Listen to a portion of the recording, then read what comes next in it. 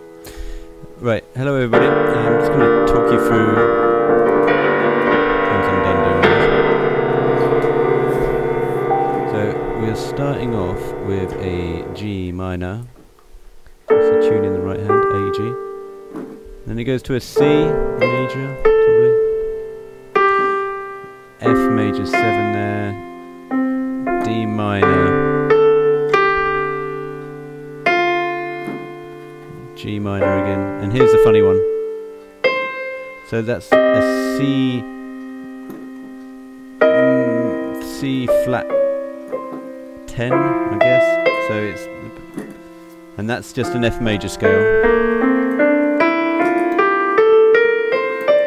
Leading up to the E flat minor to the A flat 7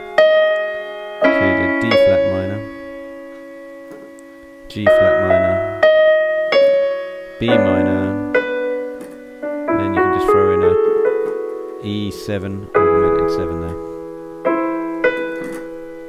and if you want, round it off with an A major 7, why not, eh? That's like the G minor rattling around, and then a C in the bass. That's pretty much it. Okay, thank you. That's Taxi Driver. Do subscribe.